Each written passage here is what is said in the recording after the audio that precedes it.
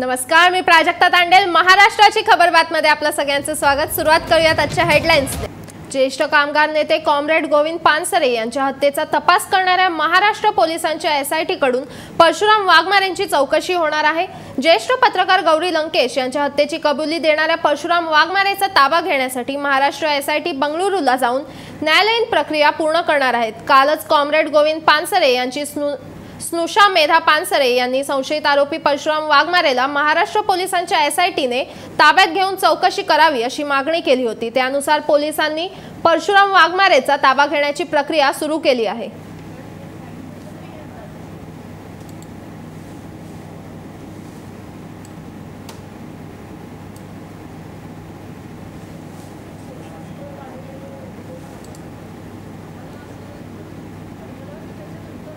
एसआयटीचे अधिकारी कर्नाटक पोलिसांच्या संपर्कात आहेत. गौरी लंकेश यांच्या हत्येप्रकरणी आधी मे महिन्यात तिघांना अटक करण्यात आल्यानंतर महाराष्ट्र एसआयटीच्या अधिकाऱ्यांनी बंगळुरूला जाऊन त्यांची चौकशी केली होती. आता परशुराम वाघमारेची चौकशी करण्यासाठी एसआयटीची टीम जाणार आहे.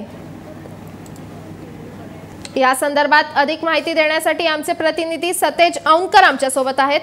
सतेज काय माहिती देशील याबद्दल आणखी? नक्कीच गौरी लंकेश यांची हत्या जेव्हा समजलं पोलिसांना की वाघमारे यांच्याकडूनच झालेली आहे. या सगळ्या तपासानंतर आता अनेक धागेदोरगे उकलवायला सुरुवात झालेली आहे. कारण comrade Govind Pansare M M Kalburgi यांच्या हत्येसाठी जे रिव्हॉल्वर वापरण्यात आलं होतं हे या वाघमारेकडून एकच रिव्हॉल्वर वापरलं गेलं असल्याचं तपासात निष्पन्न झाल्यानंतर आता महाराष्ट्र पोलिसांचं जे एस आय टी आहे हे खडबडून जागा झालेलं आहे.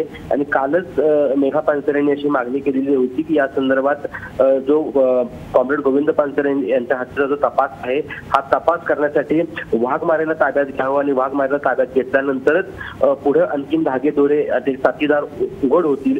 या अनुषंगानं कोल्हा महाराष्ट्राचे जी एस आय टी आहे स्पेसिफिक पुण्यात आणखीन कोल्हापूरमध्ये हे सगळे पोलीस असणार आहेत आणि हे पोलीस या एस आय टी मार्फत अ, आपल्या बेंगलोरला जाणार आहेत आणि त्या ठिकाणी पूर्ण अ, त्याची चौकशी करून त्याला या प्रकरणामध्ये आणता येतंय का?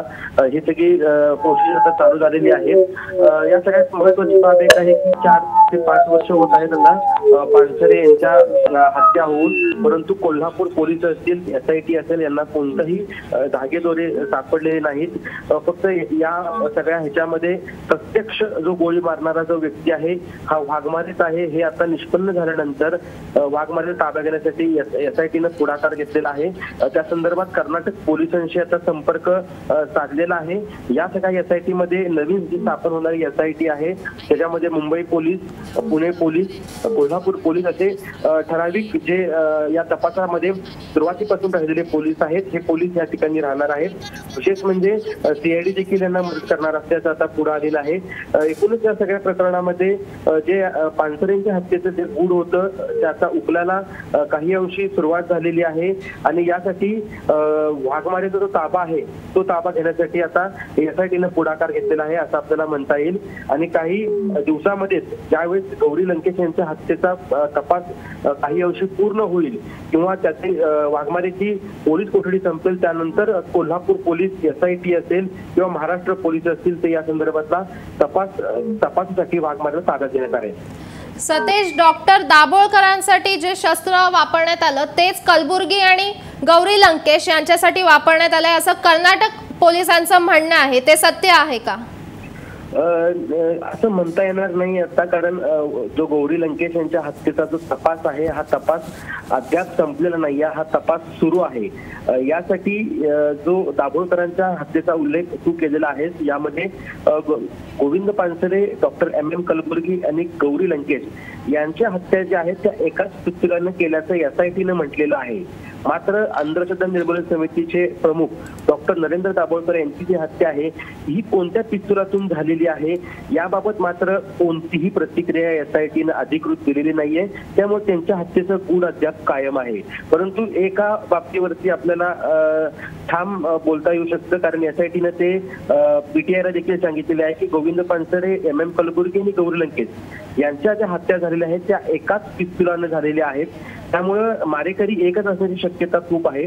आणि तिन्ही ठिकाणी ज्या सुंगळ्या ज्या सापडलेल्या आहेत त्याच्या खुना ज्या आहेत त्या एकाच पित्तुराच्या दट्ट्यासारख्याच आहेत. हा देखील निष्कर्ष त्यांनी नोंदवलेला आहे. त्यामुळं गौरी लंकेश गोविंद पानसरे आणखीन एम एम कलबुर्गी यांच्या हत्या एकाच पिस्तुलानं झाल्यात. तर दुसरीकडं दाभोळकरांची हत्या मात्र कोणत्या पिस्तुलानं झाली हे मात्र अद्याप कर्नाटक पोलिसांच्या एसआयटीनं अद्याप सांगितलेलं नाहीये. त्यामुळे ते गुढ कायम आहे. धन्यवाद सतेज दिलेल्या सविस्तर माहितीबद्दल. लोकपालच्या अंमलबजावणीसाठी केंद्रातून सचिव स्तराचे अधिकारी चर्चेसाठी रायगड सिद्धी येथे येणार आहेत. लोकपाल विधेयकाच्या अंमलबजावणीसाठी गेल्या चार वर्षांपासून पंतप्रधान नरेंद्र मोदींकडे पाठपुरावा करणाऱ्या ज्येष्ठ समाजसेवक अण्णा हजारेंच्या लढ्याला अखेर यश मिळाल्याची चिन्हे आहेत. पंतप्रधान कार्यालयाकडून अण्णा हजारेंना निरोप आला आहे.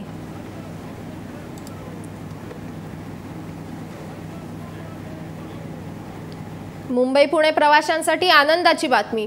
हा प्रवास अवघ्या वीस मिनिटात शक्य होणार आहे. मुंबई पुणे महामार्गावर हायपरपूल तंत्रज्ञानावर आधारित अतिवेगाने रेल्वे प्रकल्पाची उभारणी करण्याच्या दिशेने शनिवारी आणखी एक महत्त्वाचे पाऊल पडले. मुंबई पुणे दरम्यानचा प्रवास अवघ्या वीस मिनिटांवर आणणाऱ्या या तंत्रज्ञानाची लवकरच पुण्यात चाचणी होणार होणार असून त्यासाठी संबंधित कंपन्याच्या अभियंत्याचे पथक पुण्यात दाखल होणार आहे.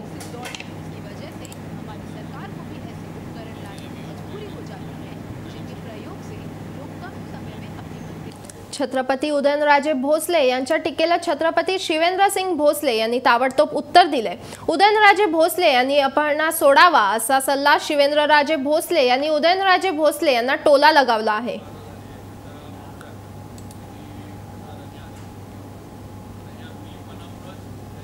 खासदारांना एक सांगणं आहे म्हणजे एक सूचना आहे की त्यांना जी मी पानाची बाधा झाली आहे ह्याचा उपचार त्यांनी खासदारांनी आधी करून घ्यावा. कारण या मीपणामुळंच त्यांच्या पुढच्या अडचणी या वाढत चाललेल्या आहेत. मग पक्षामधल्या असतील बाहेरच्या असतील सगळ्याला मी आणि मीच एकमेव हे आहे. बाकीच्या सगळ्यांनी माझ्या मागच आलं पाहिजे. मग या मीपणाचा उपचार आधी खासदारांनी करावा. तुमच्यामुळं सातारा आहे किंवा माझ्यामुळं सातारचं सगळं काय आहे ते होतंय. हे जे म्हणजे भ्रमामध्ये जे खासदार साहेब आहेत त्याचा काहीतरी उपचार त्यांनी करावा. म्हणजे बऱ्यापैकी त्यांच्या पुढच्या अडचणी लोकसभेचं जे आता त्यांना पुढचं जे स्वप्न पडलंय त्याच्या अडचणी बऱ्यापैकी कमी होतील. म्हणजे संपणार नाही. पण माझं राजकारण टिक राजकारण चाललं पाहिजे माझ्या हातात हे राहिले पाहिजेत. म्हणून त्यांनी हा प्रयत्न सुद्धा केला होता की विलिनीकरण होऊ नये. विलिनीकरण थांबलं पाहिजे. त्यासाठी दबाव आणणं दमदाटी फोन शिवीगाळ अनेक प्रकार त्यांनी करून पाहिले. पण शेवटी परमेश्वरानं आणि सगळ्यांनी साथ दिली. विलिनीकरण झालं आणि सगळं जे आहे ते सुरळीतपणे सुरू झालं.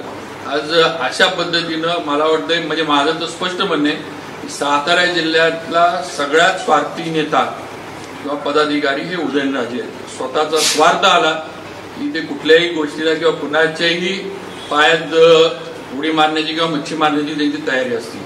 आता निवडणुका जवळ यायला लागल्यात की लगेच पवार पवारसाहेब पाहिजेत इकडं राष्ट्रवादीचा विरोध होईल किंवा काय किंवा इकडनं उमेदवारीची शासनता निर्माण झाली की भाजपशी मैत्री करण्याचा प्रयत्न त्यांचा सुरू आहे. आणि स्वतःच्या स्वार्थापुढं त्यांना काही एक दिसत नाही. स्वतःचा स्वार्थ आला की लगेच फोन करून माझ्या वाढदिवसाच्या कार्यक्रमाला या. एकीकडे तुम्ही म्हणताय शिवेंद्रराजे खलनायक आहेत. मग खलनायक तुमच्या वाढदिवसाला कशा जुन्नरमधील मनसेचे आमदार शरद सोनावणे यांच्यावर शासकीय कामात अडथळा आणल्याचा गुन्हा दाखल झालाय. त्यांच्यावर काल आळेफाटा पोलीस स्टेशन येथे गुन्हा दाखल झाल्याचा निषेध म्हणून आळेफाटा येथे जाहीर बंद पुकारण्यात आलाय. आळेफाटा गावातील संपूर्ण दुकाने आणि व्यवहार ठप्प होते. आमदार सोनावणे यांच्यावर खोटा गुन्हा दाखल केल्याने नागरिकांच्या वतीने गाव बंद आंदोलन केले आहे. पोलिसांकडून यावर कडेक कोट बंदोबस्त तैनात केले आहेत. चॅनलच्या माध्यमातून पत्रकार साहेब सांगू इच्छितो. का दोन दिवस आळ्या या ठिकाणी एका किराणा मालाच्या व्यापाऱ्याला त्याच्यावर कोटी केस करून त्याच्याकडे पंचवीस हजाराची लाच मागून त्याच्यावर गुन्हा दाखल करतो पंचवीस हजार दिले तर गुन्हा दाखल नाही करी आमदार साहेब राज साहेबांच्या वाढदिवसानिमित्त मुंबईला होते. सामान्य जनता न्याय कोणाचा मागण्याचा? त्यांनी आमदारांकडे न्याय मागितला का दादा? पंचवीस हजार मागतात तर गाडी सोडतो. दादांनी या घटनेची शहानिशा केली व स्वतः पोलीस स्टेशनला फोन केला. पण पोलिसांची मजुरी इतकी वाढलेली आहे का त्यांनी आमदार साहेबांचा फोन न उचलला होता आता स्वतः पोलीस स्टेशनला आले. व ते तुम्हा सर्व पत्रकारांना नेत आहे. ते कसं न झालं?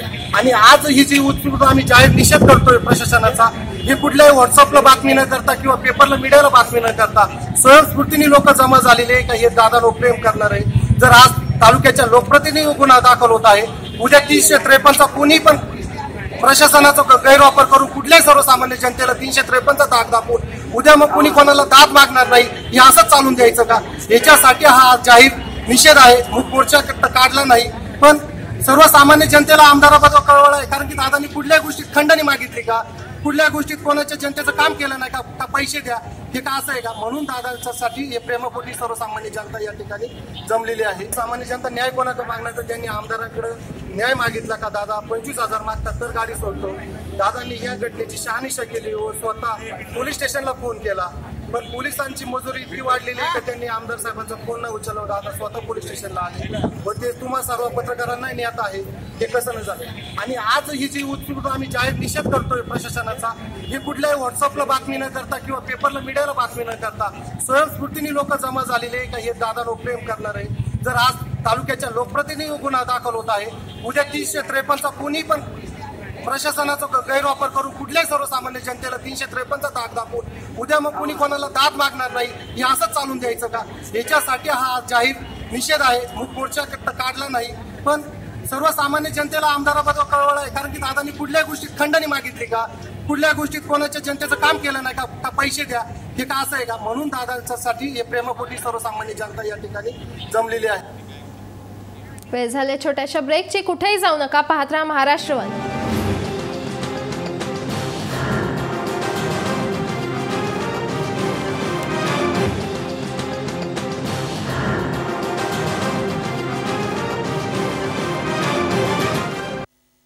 आपण वळूयात पुढच्या बातमीकडे. मिसेस इंडियाच्या किताबावर सांगलीच्या वैशाली पवारनं नाव कोरलं आहे. मिसेस वर्ल्ड स्पर्धेसाठी आता वैशालीची निवड झाली आहे. दिल्लीतील किंगडम ऑफ आर्ट्समध्ये चार दिवस मिसेस इंडिया ही स्पर्धा रंगली होती. वैशालीची ही मूळची सांगलीकर असून कर्नाटकातील बंगळुरू हे तिचं सासर आहे. नॉनस्टिक तवे आणि भांड्यांसाठी प्रसिद्ध निर्लेपला दोन वर्षापूर्वीच नोटबंदी आणि वर्षपूर्ती करीत असलेल्या जीएसटीमुळे बसलेल्या कथित आर्थिक फटक्यापासून मात्र निर्लिप्त होता आलं नाही. त्यामुळेच ही कंपनी ऐंशी कोटी रुपयांना बजाज इलेक्ट्रिकल्सला विकण्यात आली. विशेष म्हणजे निर्लेपचा विक्रीचा कटू निर्णय नेमका कंपनीच्या सुवर्ण महोत्सवी वर्षातच प्रवर्तकांना घ्यावा लागला आहे. महाराष्ट्रातील औरंगाबाद येथे उत्पन्न प्रकल्प असलेली निर्लेप अप्लायन्सेस ही कंपनी बजाज इलेक्ट्रिकल्सने ऐंशी कोटी रुपयांना खरेदी केली आहे.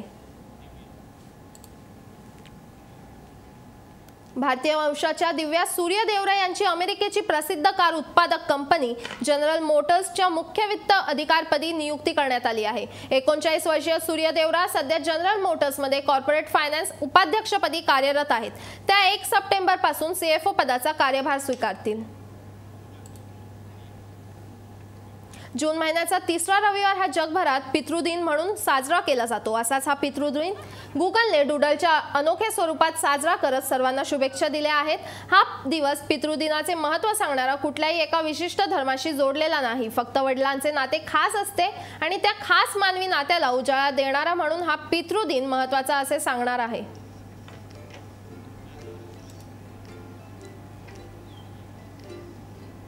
आपण करत असलेली नोकरी सोडणे आणि नवीन ठिकाणी जॉईन होणे यात काहीच वेगळे नाही. कधी पगाराच्या कारणास्तव तर कधी काही कारणांनी नोकरी सोडणारे अनेक जण असतात. मग त्या व्यक्तीचा ऑफिसमधला शेवटचा दिवस त्याच्यासाठी आणि त्याच्या सहकाऱ्यांसाठी कायमच खास असतो.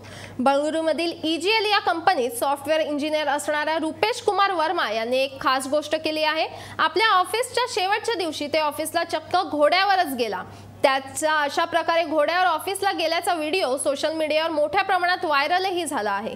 नवीन व्यवसाय सुरू करण्यासाठी रुपेश यांनी आपली नोकरी सोडली आहे. आता घोडा घेऊन ऑफिसला येण्यामागचे कारण काय?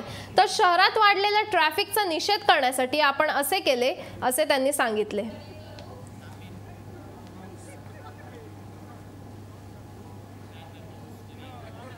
वेळ झाले इथेच थांबण्याची. पाहत राहा फक्त महाराष्ट्र वन.